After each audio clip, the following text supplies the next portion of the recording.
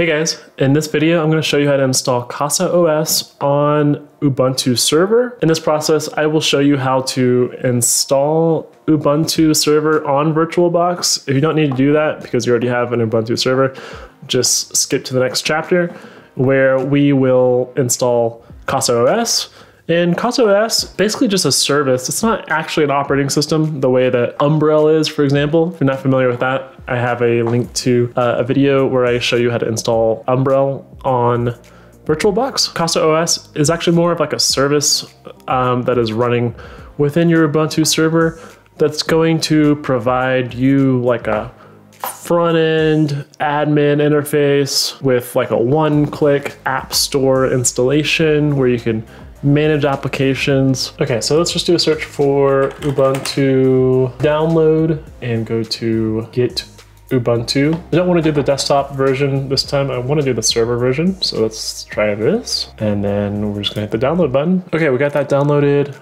and I'm going to copy this out of my downloads folder and let's put this somewhere where I can kind of keep track of it a little better. So we've got the live server 24. Going to open up VirtualBox and hit new. And I'm gonna call this Ubuntu server. And we're gonna give this an ISO image, what we just downloaded. So live server, okay, hit next.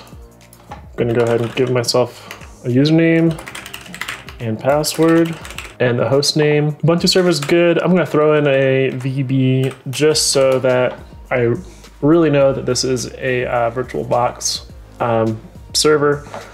It's not my actual Ubuntu server that I have. So hit next, give it some memory because I have plenty to deal with and I'll give it a couple CPUs. Don't believe that we'll need to enable EFI. Virtual disk, it's great because it's not pre-allocated, it's dynamically allocated. And then let's hit finish. So it's gonna go and power it up. Let's see what happens. All right, try or install Ubuntu server. So we wanna just go ahead and install it.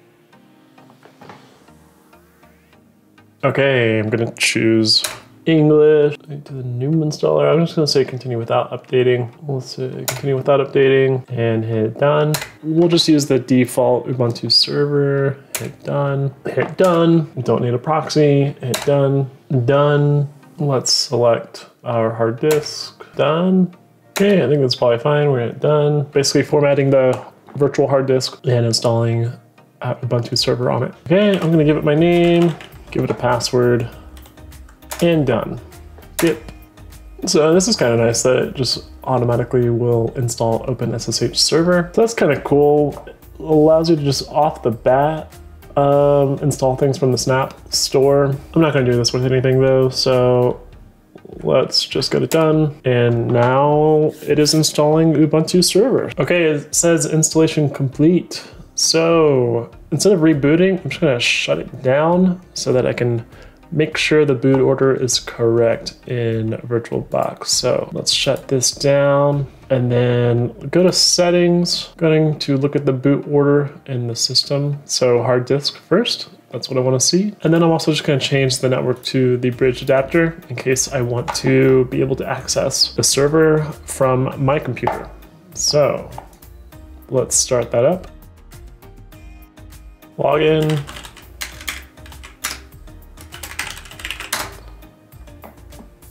Okay, so I am in my server.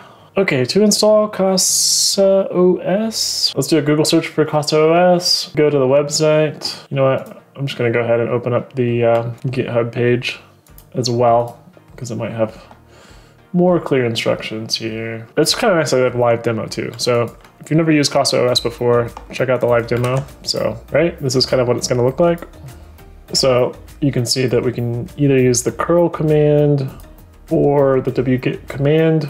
Um, we can try either one. We'll go ahead and do the curl because that's what it also says right here.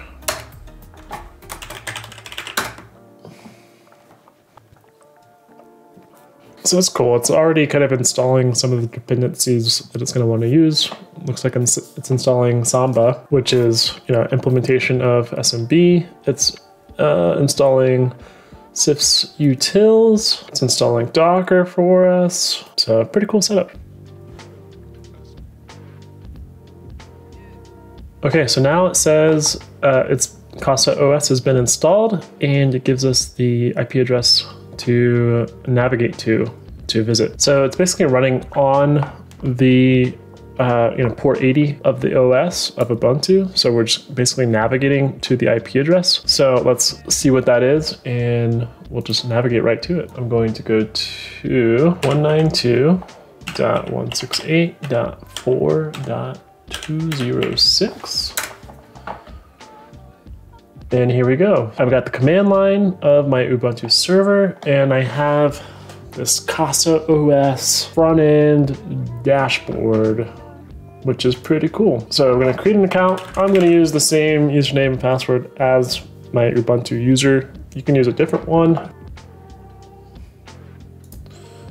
Okay, and now we have CasaOS. So I'm going to stop using the command line for a second and just kind of look at our front end here and just check this out. We got App Store. So check this out. Do a search for Immich. Boom. What I've seen is this uh, Big Bear CasaOS developer seems to be pretty good for keeping things up to date. What else do I have off the bat? Files pretty cool. Location, documents, so this is like my user folder. Like let's just create a file in here and see if it shows up. We're gonna go cd data list. You see we have app data, documents, downloads, gallery, media. And similar to Umbrel, like when you use the app store to download an app, kind of like Immich, it is going to install all of those mounted drives inside of that app data uh, folder It'll create a folder within app data with the same name as the app that you are installing generally.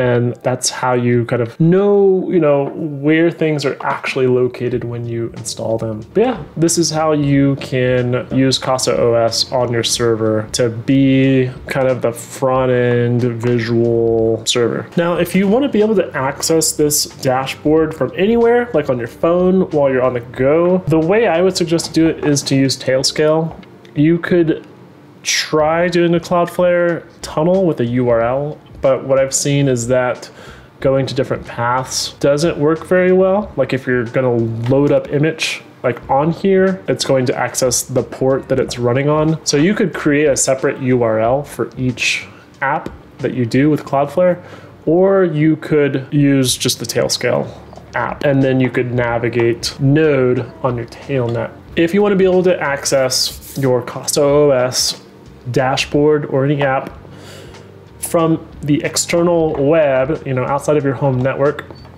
There's really two ways, two great ways to do this. One, and it's it's pretty dang easy. It's so cool. You could just use the Cloud Flared app on here.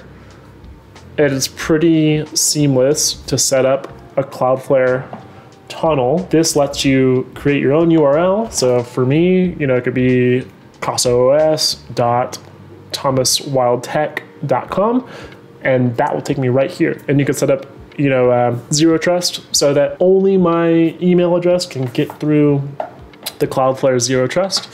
That's definitely how you would want to do that. And then for each app that, that you have running on here, your Nextcloud, your Immich, you could set up your own URL to go to those apps too. So it could be Immich, thomaswildtech.com, and uh, that's a great way to do it. The other way that you would want to do it, if you're really going to like be navigating through the dashboard to, to get to your apps and whatnot, I would probably just download Tailscale on here. If you don't have a Tailscale account, free to create, and then you can start adding your devices as nodes to your tailnet. And then wherever you go, just you can put in your tail scale node IP address into the URL of your app of your Immich mobile app or your the browser on your phone or, or you know wherever you're accessing your Casa OS from, and uh, you'll just get right here. Uh, as long as both devices are connected on your tailnet. So very easy to do. If you have any questions about installing Casa OS on Ubuntu server, let me know in the comments or any questions in regards to anything